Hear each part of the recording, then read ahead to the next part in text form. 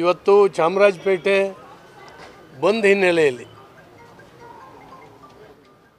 ಗೃಹ ಇಲಾಖೆ ವತಿಯಿಂದ ಪೊಲೀಸ್ ಎಲ್ಲ ಬಂದೋಬಸ್ತ್ಗಳನ್ನು ಮಾಡಿದೆ. ನಾನು ಸಾರ್ವಜನಿಕರಲ್ಲಿ ವಿನಂತಿ, ಪ್ರಜಾಪ್ರಭುತ್ವದಲ್ಲಿ ಪ್ರತಿಭಟನೆಗೆ ಶಾಂತಿಯುತವಾದಂಥ ಪ್ರತಿಭಟನೆಗೆ ಅವಕಾಶ ಇದೆ ಅದು ಮಾಡ್ಬೋದು.